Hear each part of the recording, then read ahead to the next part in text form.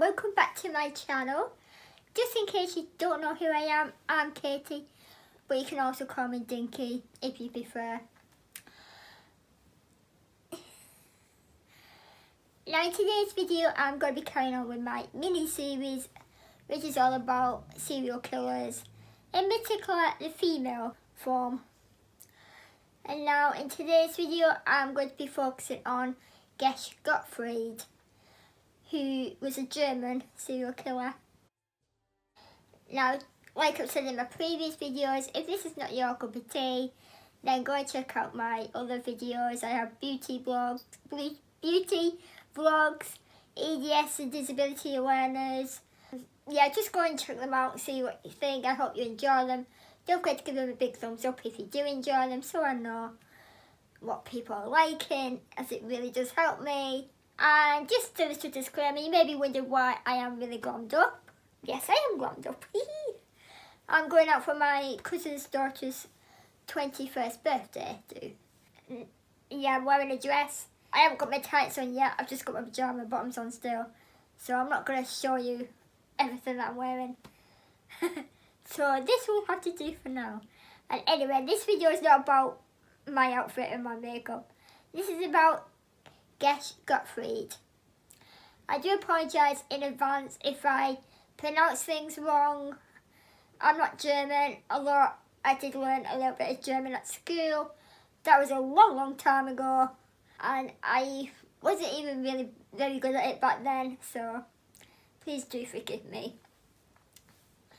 For anyone who is wondering, I do have notes in front of me on the bed. So if you do see me looking off the screen, then I am looking at my notes because I have a terrible short-term memory. Even you think I'd remember what I've written, but I just can't.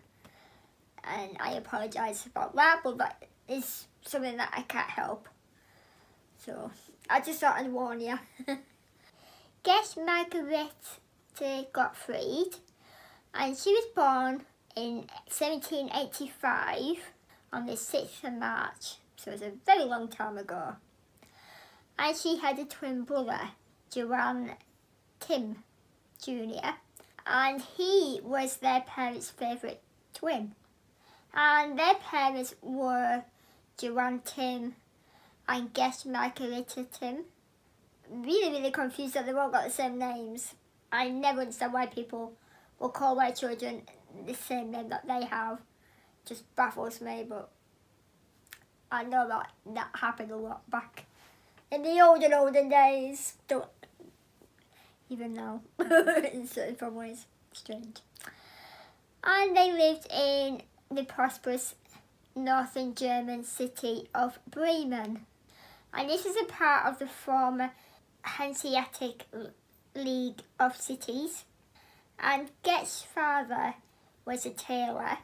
And their home life was modest they weren't particularly rich in any way. They, they were kind of poor, you know, they got by. And she had ambitions of making it on the stage. And theatre was booming back then.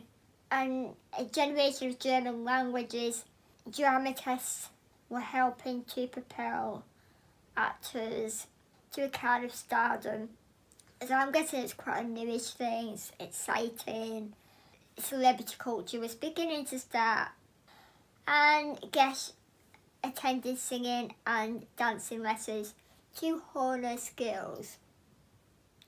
Gesche's father had married Gesche off to a saddler and he was also called Johann Mittelberg.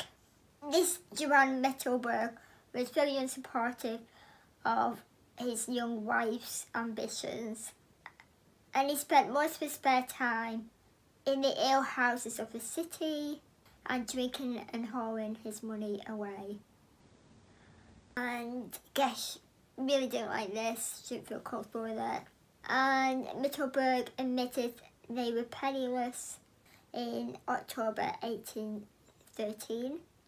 And it wasn't long before he died of an agonising illness and a year later Tracy shook again with two aggressive children and both her parents, and they all died painfully in the space of two months. In Bremen City, it seemed that death stalked Mittelberg's widow, taking all her family that she had. But the dignity with which she bore such suffering was remarkable, and indeed many spoke of the tireless devotion with which she ministered to her dying family, calling her the Angel of Bremen. No one was suspicious yet, as diseases such as cholera, typhoid and diphtheria wiped out entire families in the European cities of the early 19th century. And guests just seemed to have more than the fair share of grieving to do. Gretchen took up with a wine merchant and he was called Michael Christoph Gottfried. And he was there to comfort her as illness claimed another son as well as her brother. Unavoidably, Gottfried sickened and died in July 1817. For the next few years, Gesche lived alone in a comfortable home that she shared with her deceased husband and freshly dressed yet reserved, stoically bearing the hand that fate had dealt her. In 1823, Gesche's neighbour, Paul Thomas Zimmermann, proposed to her. Before long, he lingered in agony before dying. At this point, Gesche resolved herself to being alone, albeit with the home Zimmermann had left her in his will. So I'm guessing she had two homes now. I'm sorry, it's just... It's not funny, but I can't help but laugh at it, and... yeah. Over the next few years, 30-something Gesche attempted to maintain a comfortable, fashionable lifestyle her two deceased husbands and fiancé had left to her and this included a series of loans and selling off some of her properties. Gesche managed the costs for a while, but they came to a head in 1825 when creditors began to knock on her door. In what must have seemed a predictable fashion to the more observant around her, this was when a series of acquaintances and forget friends began to sicken and die around her. Jeez. They're all just dropping like flies, aren't they, wherever she is? Her neighbour, Johann Wolf, one of those she had sold her properties to, he discovered the truth about Gesche in early 1827. One night, she served him salad, and he noticed a number of oily white grains among the leaves. And then when the ham dish was served a few days later with the same substance sprinkled over it, Wolf took a sample to a friend who was a doctor for an, anal an, for an analysis. Couldn't that word, thank you. And bear in mind, this was in the early days of toxicology. Um, Wolf's friend was quick to identify what had been added to the food. Arsenic, as well as a form smeared with fat known as mouse butter, which is used as a rat poison for rodents. And unbeknown to Gesche or to, I don't know if Wolf knew, but he had already examined other bodies of people actually knew that had died. And this is what led to the investigation quickly being launched. Gesche resolved herself now that she was under suspicion and managed to slip away to Hanover, where she was eventually tracked down and arrested in late March 1828. The court case would demonstrate that Gesche had poisoned 16 people over the space of 15 years making her an early documented serial killer. And she was sentenced to death but remained under lock and key in the Bremen Gaol for three years until the sentence was carried out. And while she was waiting for die, early predecessors of forensics psychologists questioned her about her motivations. And she said that she was motivated by an almost pathological desire not to lose the image that she had built around herself, that she was a woman of substance, bearing the tragedies around her with great determination and affluent poise. She couldn't bear the thought of falling from grace, of becoming less than as what she thought of herself to be. She did regret the killings, however, so that's a good thing, isn't it? and Gesche claimed that she saw the spirits of her dead family in her cell every night, tormenting her, and she told the gaolers, gaolers, gaolers, what should I say, this right up until her execution.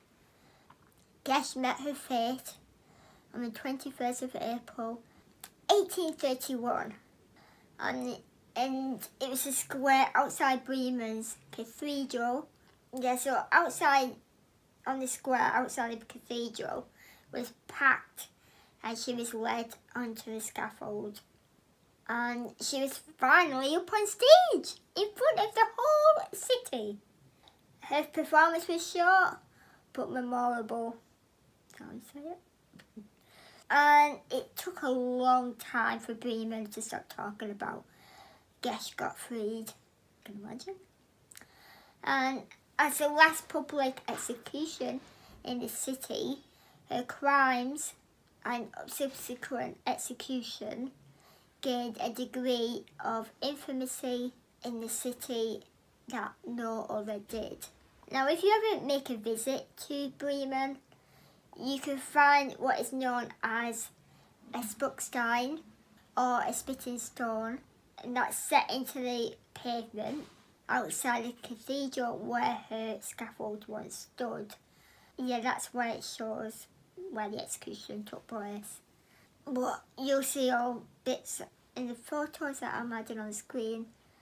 So, very intriguing. I wonder what she thought. Why would you kill your whole family and your friends? Run around you? And that is the end of this tale. Sadly, it's not a story, it's real life, believe it or not. I hope you've enjoyed watching this video. I'm sorry if I talked a little bit fast, but I'm in a little bit of a rush today. But if you did give did enjoy watching, please give me a big thumbs up and don't forget to share and if you're new to my channel, don't forget to click on subscribe and don't forget the notification bell so you don't miss out on any future uploads. And I will see you next time. Bye! Bye!